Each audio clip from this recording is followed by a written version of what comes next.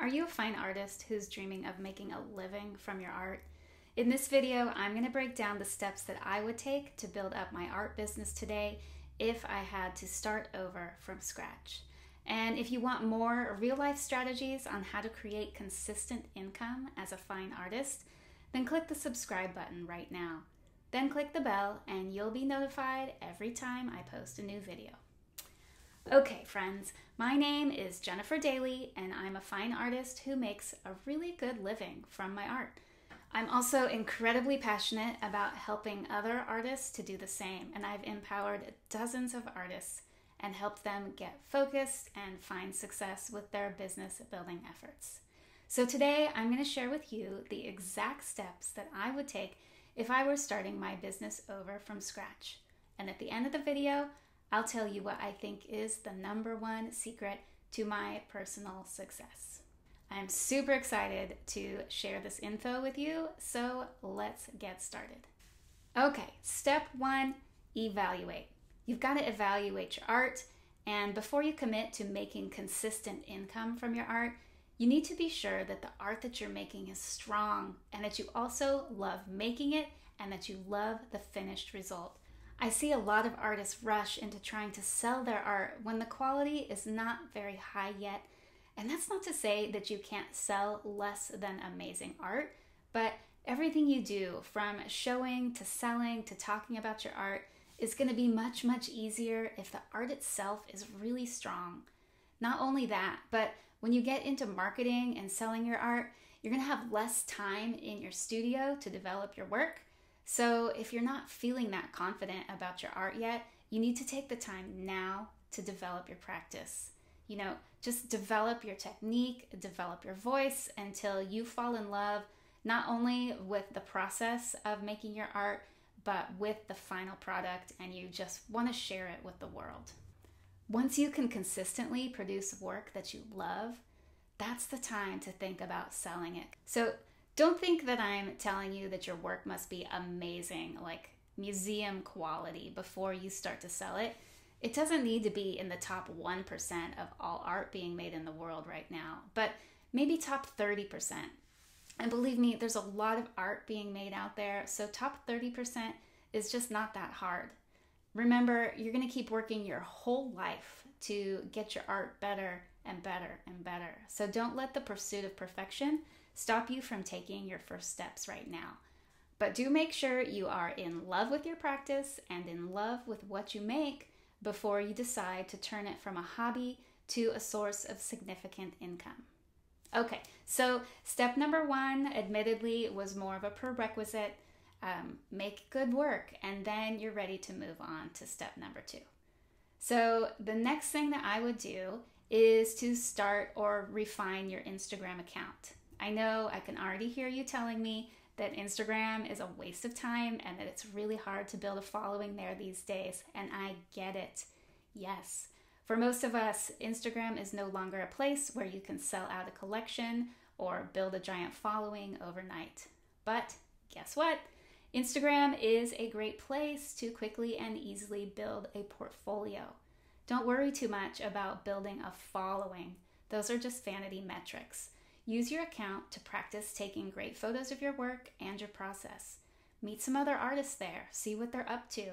I can't tell you how many connections I still make through Instagram, even though the amount of effort I actually put in there is evident in the size of my following.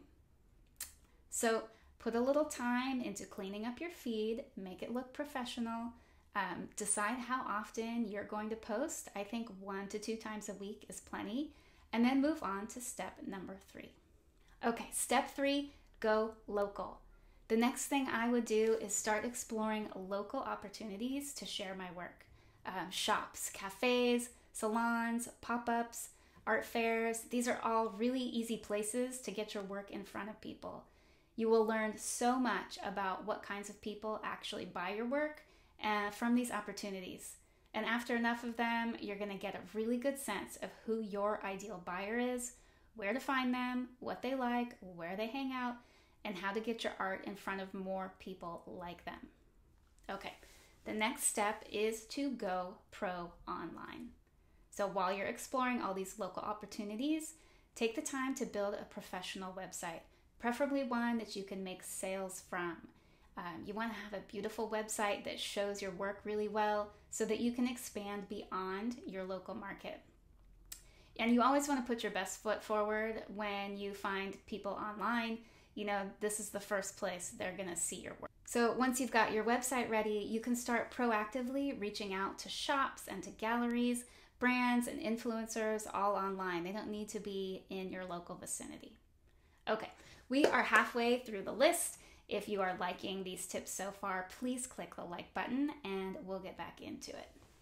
So, step five is to make a plan. Uh, by now, you should have a better idea of what you want to make, who your audience is, and how you want to spend your time. But you do have to have an income goal set for yourself. If you don't, how will you know what success looks like?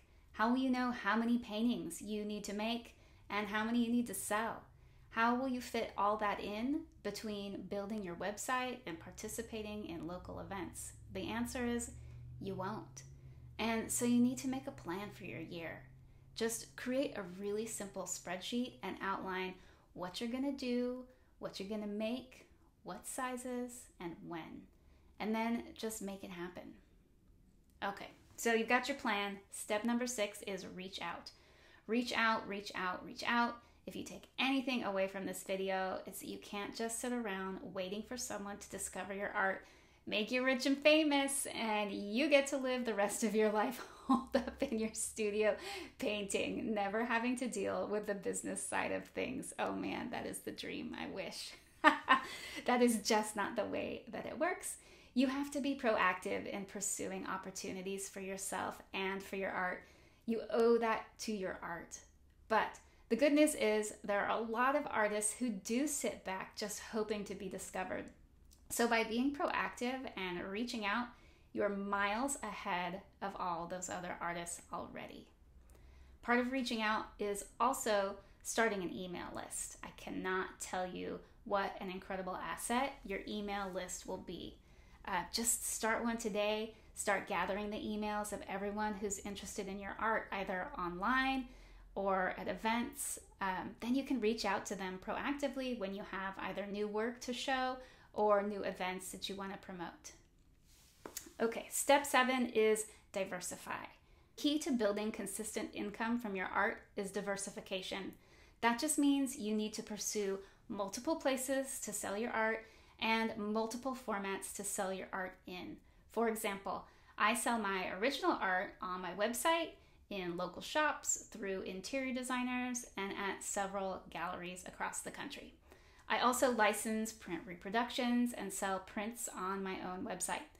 Uh, not only does my art reach more people this way, but it hits different price points, and I have other people working to sell my art for me at all times, so I can spend more time in the studio painting.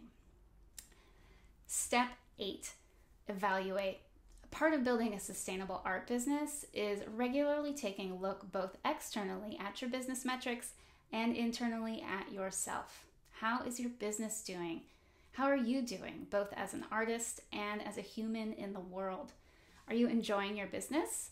Are you enjoying making art? Are you taking time to rest and see people and travel and exercise and eat good food? And if not, something needs to change you need to go back to your plan and revise. Um, I do a big evaluation of my business annually as well as four quarterly reviews. This is so important to be sure your business is growing in a way that is both sustainable and enjoyable for the long term. Okay, that is basically it. The eight steps again are make good work, Instagram, go local, go pro online, make a plan, reach out, diversify, and evaluate. Oh, and I did promise to tell you the number one thing that I truly believe has contributed to the success of my business is surrounding myself with people who were where I wanted to be. You know, the path to becoming a full time artist is not straightforward and it can be really overwhelming at times. But having someone who has been where you are and can help you along the way is huge. Okay, so now you know the exact steps I'd take if I had to start my business over again today. And you know how helpful having a mentor was in my own success. That is part of the reason that I developed my group coaching program for fine artists, Palette to Profit. If you are at all interested in learning more about it, you should use the link in the description below to book a call with me. We can talk about your art and your goals and see if you're a good fit for the program. Um, and if not, I still wish you the best of luck. The more thriving artists and the more beautiful art there is in the world, the better. Okay, I hope this video has been helpful to you. Um, if you want more information on a certain aspect of it, just let me know in the comments. Thank you so much for joining me today, and please be sure to like this video and subscribe for more fine art business tips. Okay, have a wonderful day.